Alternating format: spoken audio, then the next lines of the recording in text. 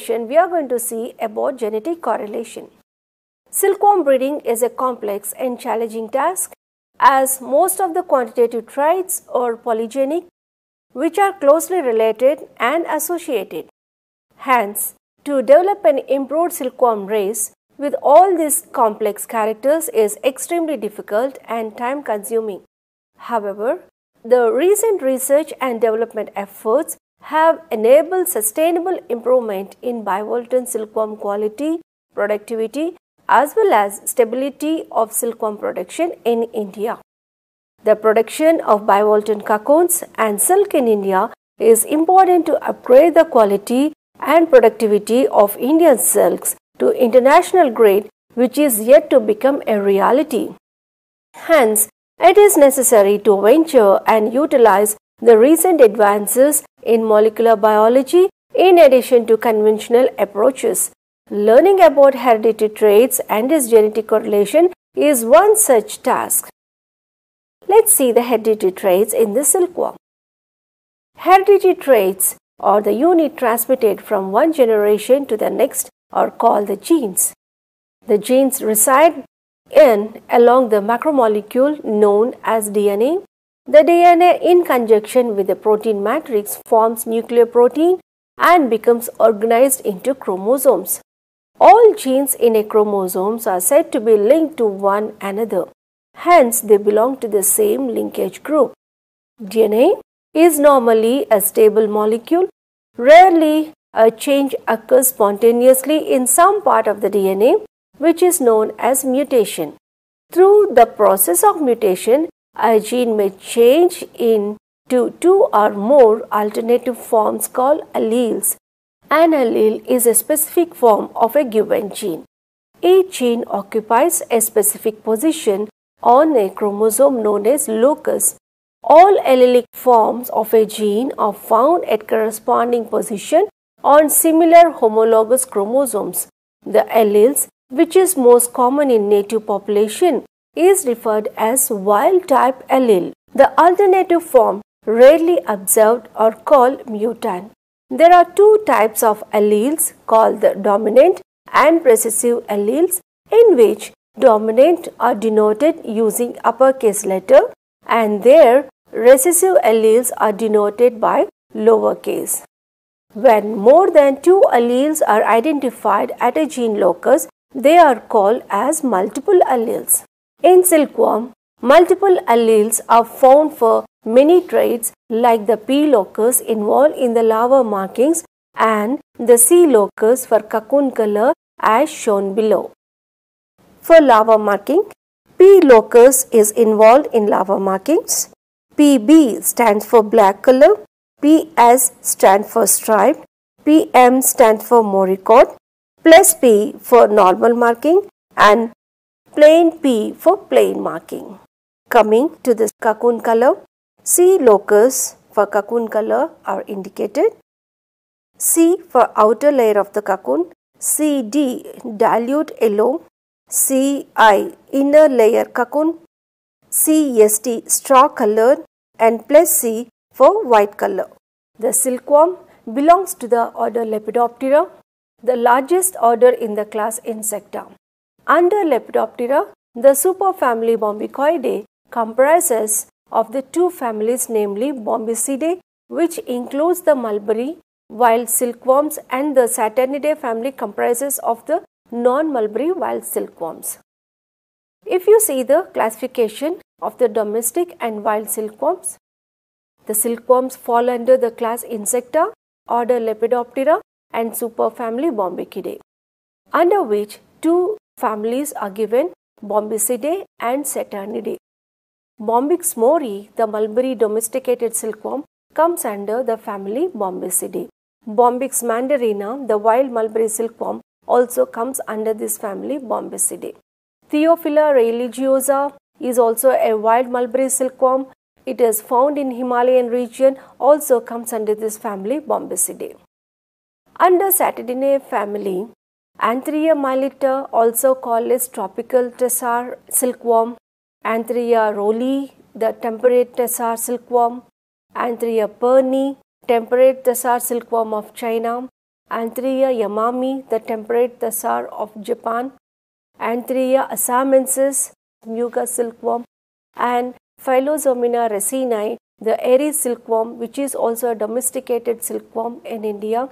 Philosamia cynthia is an eri wild silkworm are found in the family Saturniidae. Next, we will see the chromosome number in the mulberry silkworms.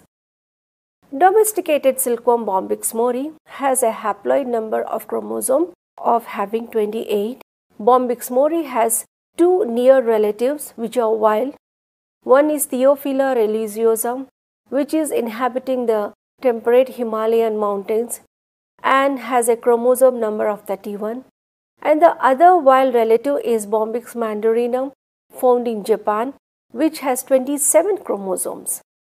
Chromosome analysis of F1 hybrid of Bombyx mandarina and Bombyx mori showed that one of the 27 chromosomes of Bombyx mandarina pairs with two chromosomes of Bombyx mori, indicating the possibility of chromosome fission during the course of domestication.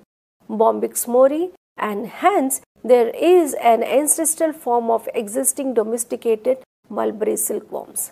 Table reading Bombyx mori has a distribution of Asia and Europe with a haploid number of chromosomes 28. Bombyx mandarina, hailing from Japan, has a haploid number of chromosome 27. Bombyx mandarina, hailing from China, has a haploid chromosome number of 28. Theophila religiosa, coming from Himalayan distribution, have a haploid number of chromosome of 31. The chromosomes of mulberry silkworm are very small in size which form a graded series.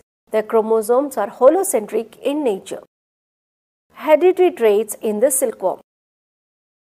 Over 450 hereditary traits are known in mulberry Bombyx mori silkworm observed in the egg, larvae, pupae, cocoon and moth stages. Majority are related with larvae and egg characters. If you see the number of traits present in the different stages given in the table below, the egg stage has 83, larva has 318, pupa has 14, cocoon has 18 traits, moth has 24. In a total, 457 hereditary traits are present in the mulberry silkworm. More than 90% of the traits are spontaneous in origin. They are induced by radiations, chemicals, extreme temperatures, and etc. Multiple alleles are found in many loci. The following genes have five or more alleles. For the gene C, indicating the cocoon color, it has the alleles of 5. Gene GR, standing for egg color, and the egg shell color, has the alleles of 8. The gene P standing for larval marking has 6 alleles. The gene PE standing for egg color has 5 alleles. AMY, AMY standing for hemolymph have 5 alleles. Gene HC standing for amylase and BHP standing for blood and acid phosphatase has 6 alleles and gene EES standing for egg esterase has 5 alleles and H gene standing for hibernation has 5 alleles. The gene ICTA which stands for the inhibitor of chymotrypsin A has 6 alleles. The gene LP standing for lipoprotein has 12 alleles. And the gene E standing for plain extra legs has an alleles of 35 and the E locus comprise of as many as 35 alleles which are all of spontaneous origin which forms a pseudo allelic series. They also show pleiotropic action which not only results in the repetition or disappearance of markings and appendages but also abnormalities of gonads and genital organs. Next we will see the cocoon colors in the silkworm. Most of the silkworm races, red in Japan and China, are white cocoon varieties. Many cocoon color mutants are known and they include yellow, flesh, pink, green, etc. Except green, other colors are due to the carotenoids and xanthophylls derived from the mulberry leaves, which appear only in the sericin layer of the silk fiber. Green color is due to flavonoids, which are distributed in both sericin and fibroin layers. The following cocoon genes are identified. For the gene C, which gives golden yellow color to the cocoon, for the gene CD, gives a color dilute yellow to the cocoon, and CI gives an yellow color for the inner layer. For the gene CST, gives a straw color to the cocoon. Then for the gene plus C gives a white color to the cocoon. Then gene I is an yellow inhibitor for the cocoon. Then gene F gives a flesh color. Gene PK gives a pink color. Gene RC gives a rusty color and gene YR gives an yellowish brown color to the cocoon. And finally, Gene GA, GB and GC gives green color to the cocoon shells. In mulberry silkworm, 28 linkages groups have been established which corresponds to the number of pairs of the chromosomes in this species. Historically, humans have tried to breed animals to increase their production value. Animal production is increased by improvement of environmental factors such as housing, feed composition, feed strategies, health status, and farm management, as well as animals with adequate genetic capacity can improve the production levels of interesting economic traits. This gene capacity is transferable to the next generation, which is the main black box of animal breeding. Data collection from populations, computational progress, molecular genetic success, and use of statistical formulae provide main material to estimate accurate breeding values. The estimation of breeding values is an integral part of the Mohs breeding program for genetic improvement. In population, the genetic parameters, heritability, additive genetic variance, and genetic correlation are the base knowledge of selection in quantitative genetics. Subsequently, mating assortment is a supplementary process which selection for genetic improvement is animals is possible. Selection has been based on two traditional types of data, pedigree and phenotypes. The economic species, the value of a potential replacement individual is usually a function of several quantitative characters. Selection of a certain trait can lead to genetic changes in other traits because traits in an organism are not isolated from each other. Individuals are made up of genetically, functionally, developmentally, and physiologically interconnected traits. To understand the genetics and for evaluating group of traits, breeders use phenotypic, genetic, and environmental correlation among traits simultaneously. Knowledge of genetic correlation among important traits permit the breeder to predict what will happen to an indirect trait. If this trait is ignored completely and selection is performed for the direct trait.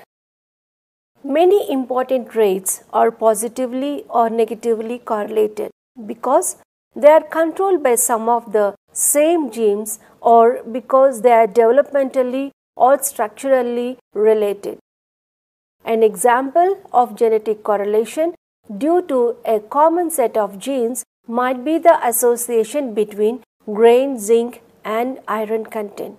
Varieties that accumulate high concentrations of one element usually also accumulate the other probably because of a common uptake mechanism.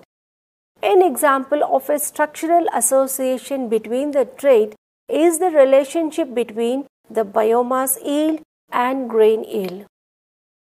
These traits are highly correlated simply because grain yield is a large component of biomass yield. Correlations between genotypic effects for different traits are called the genetic correlation, also termed as RG. Let's see the definition for correlation.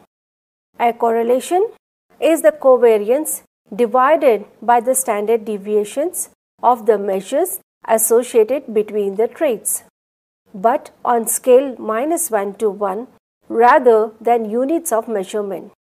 The estimation of genetic correlations is done by analysis of covariance where the values of one relative for one trait are correlated with the values of another relative for a different trait.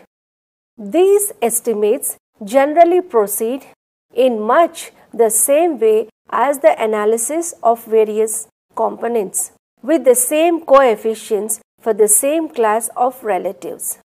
The estimates of correlations being ratios are notoriously imprecise.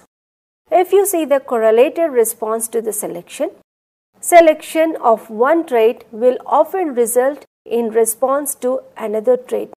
This is genetic correlation. It is caused by the changes in the breeding value of the selected trait being correlated with the changes in the breeding value of the other trait. It is given in the formula CRY equals BA into YX into RX equals covariance A by covariance P times B into FYX and multiplied with SX. The selection of one trait can cause an apparent selection differential at another trait because of both the genetic and environmental correlations. This is uh, particularly a huge problem when studying natural selection in natural conditions. If you see the indirect selection, sometimes it is easier to get a response to selection for a trait by selecting on a correlated trait instead. This is the case when the heritability for the secondary trait is smaller or when it is easier or cheaper to measure. Let us see the G into E and genetic correlations. A great way to consider G times E is the expression of a character in different environments which can be considered as different characters with some genetic correlations. Correlated characters. Characters are often correlated, that is, the phenotypic value of one character in an individual is correlated with the phenotypic value of another character on that individual. Example, the circumference of your head is about one third of your height. These correlations can also be due to the environmental effects or genetic effects. The genetic causes of correlation or pleiotropy that genes affect more than one trait or character and linkage disequilibrium. This need not be constant across genes. Some genes can cause positive pleiotropy and others cause negative pleiotropy. The balance determines the genetic correlation of the two characters. Correlations are denoted by R, which subscripts to indicate genetic, environmental, phenotypic correlations.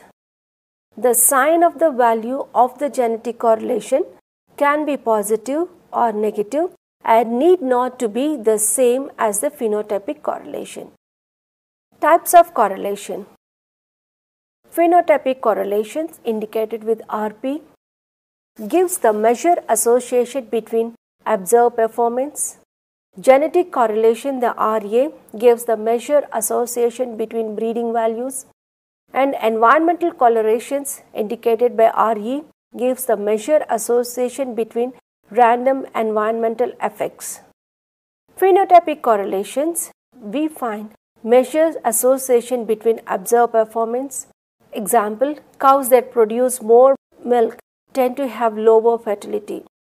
Under genetic correlations, measure association between breeding values. Example, bull that gives daughter that produce more milk tend to have daughters with lower fertility.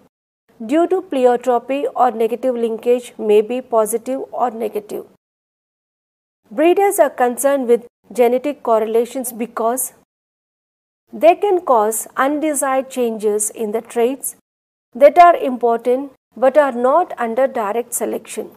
For example, selection for grain yield alone may result in increased height and growth duration because these traits are often positively correlated with yield.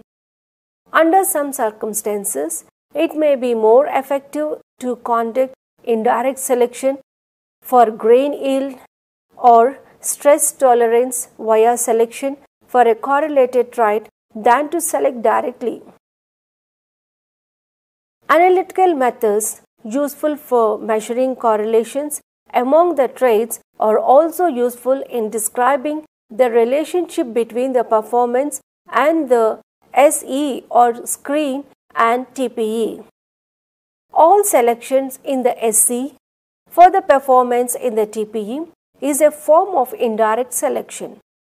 To predict the response in the TPE to selection in the SE, the genetic correlation between performance in the selection and the targets must be known. Let's see the variances, covariances and correlations.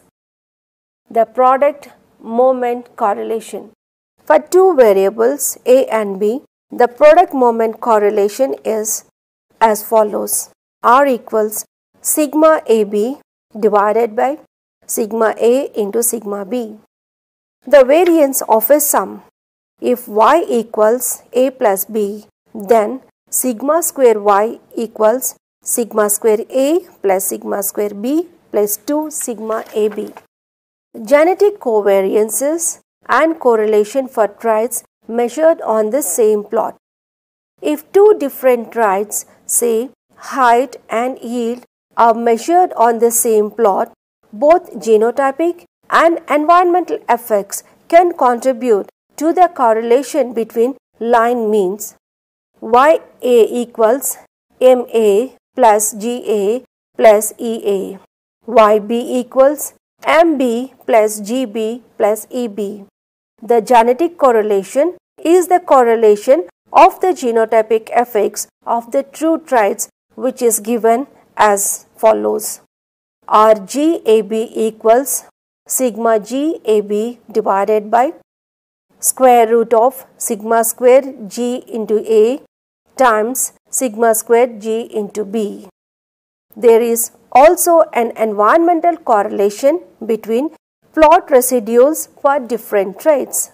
The phenotypic correlation is the correlation of the line or genotype means for the two traits. RAB equals sigma PAB divided by square root of sigma square PA times sigma square PB that equals sigma GAB plus sigma EAB divided by R whole divided by square root of sigma square g into a plus sigma square ea bar r square root of sigma square gb plus sigma square eb by r. Genetic correlations for the same trait measured in the different environment. It is of interest to measure the genetic correlation for yield or another trait in measured in different environments if this genetic correlation is high, the environments can be treated as a part of one TPE as it may be assumed that there is little GAI between them. Assume that the true traits of environment are called A and B. The model for each site is YA equals MA plus GA plus EA. Next, YB equals MB plus GB plus EB. Correlation between traits. Correlation between two traits is the covariance normalized by the standard deviation of each trait. It has a range from 1 to minus 1. It is also necessary to have a reliable estimates of the covariance component. At the genetic level, a covariance between traits is generated when alleles affecting both the traits tend to be found within the same individuals. Two causes of genetic covariance and thus correlation are pleiotropy and linkage disequilibrium. Pleiotropy is defined as one locus affecting more than one trait. It is the main cause for the existence of genetic correlation between traits and outbred population. Some pleiotropic genes can cause positive and others a negative pleiotropy. The balance determines the genetic correlation of the two characters. Linkage disequilibrium can cause genetic correlation between the traits as well. It is defined as the non-random relationship between the alleles present at two or more loci. Pleiotropic effects of the quantitative trait loci QTL or closely linked QTL, each affecting a different trait, can affect the value of the individual QTL for the marker assisted selection which is also called as MAS. Mostly in eukaryotes have thousands of genes linked together in no more than several dozen chromosomes. Linkage between loci or between genetic elements within genes contribute to genetic correlation because these linked effects tend to be inherited together. A correlation between traits can be favorable or unfavorable. Therefore, consideration of correlated responses suggests that it might sometimes be possible to achieve more rapid progress under selection for a correlated response than from selection for the desired character itself. This is called as indirect selection. Selection applied to some character other than the one it is desired to improve. Indirect selection cannot be expected to be better than direct selection unless the secondary character has a substantially higher heritability and the genetic correlation is high. Let's see the genetic correlation between production traits and others. In production traits, there is an abundance of published evidence on the genetic correlation of milk production traits in the breeding of the cattle. The main focus of dairy selection has been on the increasing milk yield. Milk, fat, and protein yields are the biological and main economical interesting traits in dairy cattle. Different researchers have shown that genetic correlation among yield traits was strongly positive, ranging from 0.49 to 0.92. The highest genetic correlation is between the milk and the protein production, ranging from 0.83 to 0.92. And the lowest is between the milk and the fat production. Though genetic correlation for protein yield showed some lack of consistency between the beginning and the end of lactation. Correlation between milk and protein are more similar from study to study than correlation between milk and fat. This means milk is more associated with the protein than fat yield. Genetic correlation for milk and the fat percentage and the milk and the protein percentage was negative although it was positive for fat and protein percentage. Genetic correlation across the study showed variable result. Estimated genetic correlations between the milk production traits in Swedish Holstein cows. They indicated that the strength correlation between production traits declined with the increasing parity especially between milk and fat. Conversely, other study reported that genetic correlation between milk and fat and fat and protein yields increased from lactation 1 to lactation 2 and later lactations. Let's see the uses of correlation. It helps to predict the changes in one trait when selecting on another using genetic correlation. It helps us to construct selection indexes involving multiple traits. And finally, it provides an additional information source in terms of breeding values. Here comes to the end of this session, genetic correlation. Hope you enjoyed this session and stay with us. Thank you.